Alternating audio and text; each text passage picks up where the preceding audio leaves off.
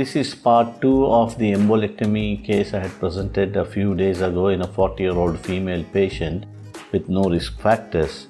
Now, as you can see, this patient was on anticoagulation and was in ICU when she complained of pain and numbness of the left upper limb and the symptoms she had before the first embolectomy.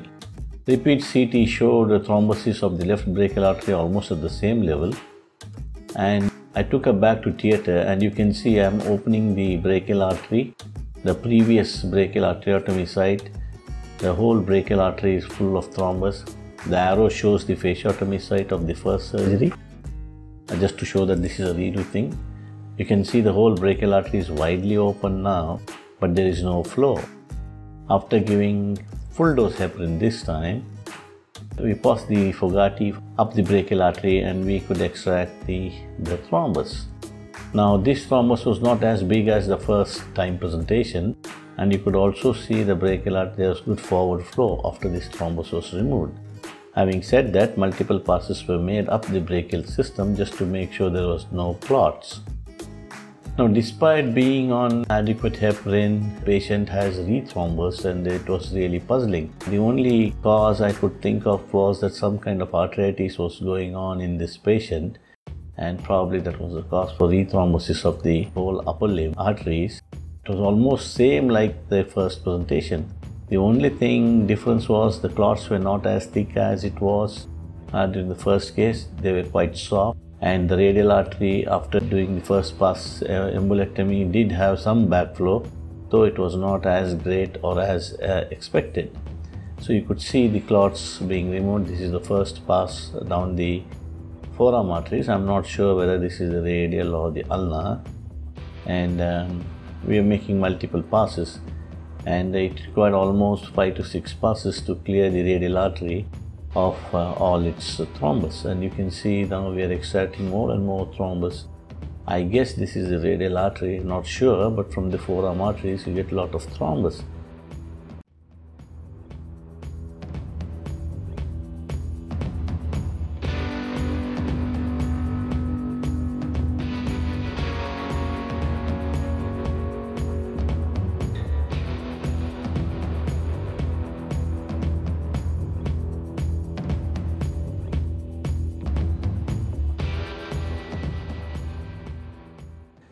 Mind you, patient is on full dose heparin and oral anticoagulation and this has happened 48 hours after the first embolectomy.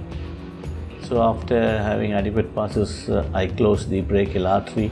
Uh, there was good pulsation there, but because the patient had rethrombosed, I was um, skeptical and wanted to see what's happening to the radial artery and you could see the whole radial artery is thrombosed here.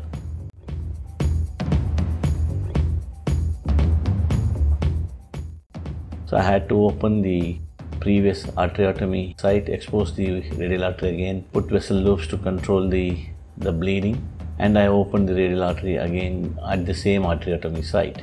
There are reports in the literature where people have done almost 6-7 embolectomies and uh, then considered doing um, intraclot uh, thrombolysis as well as one of the methods of treating these patients. But uh, this kind of a situation was being faced by us for the first time, though many surgeons had commented that they have seen this and it's very common in their setup, but it's, it's not common in our setup. One has to wonder why the patient should rethrombus despite being on adequate anticoagulation. The only way it explains the situation would be some kind of arteritis that would be happening. Though we have sent a whole battery of investigations to rule out autoimmune phenomenon. So you can see the whole radial artery, there's a lot of clots being extracted from up the radial artery towards the brachial system. And there's lots and lots of these clots. Only thing they're not as organized as they were during the first surgery. The forward flow is also not that great. So we had to make multiple passes to have a good forward flow. So this forward flow is not that great. So multiple passes were made along the radial artery towards the brachial side and during every pass you could see the clots being extracted. Now the distal artery flow is adequate or there's good forward flow from the radial artery as you could see by the gush of blood.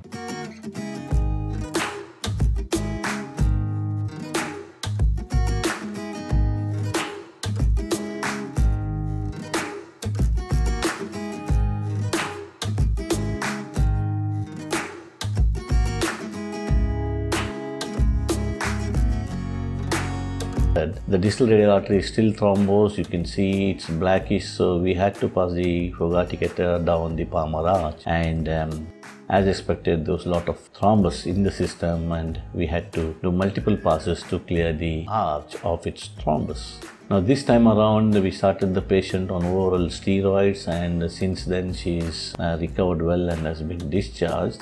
The logic of presenting this kind of embolectomy is for clinicians to know that some amount of arteritis uh, should be the cause of rethrombosis in patients and I guess steroids would be helpful in this situation.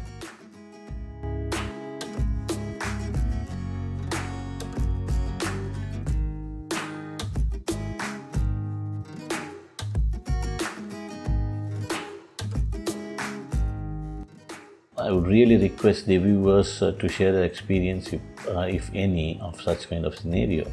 You can see here the radial artery is bleeding very well after releasing the proximal control.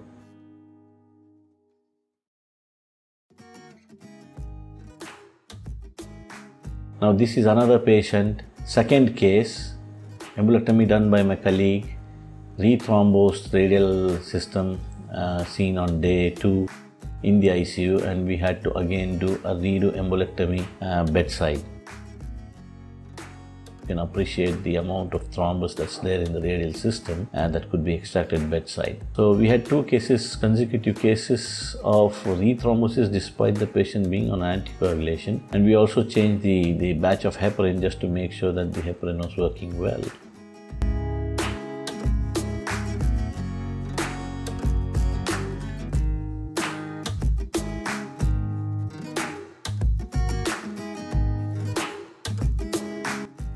So if you like this video ladies and gentlemen, please click the like button and subscribe to my channel. Don't forget to ring the bell just to be intimated of my videos well in time. Thanks for watching. Thank you very much.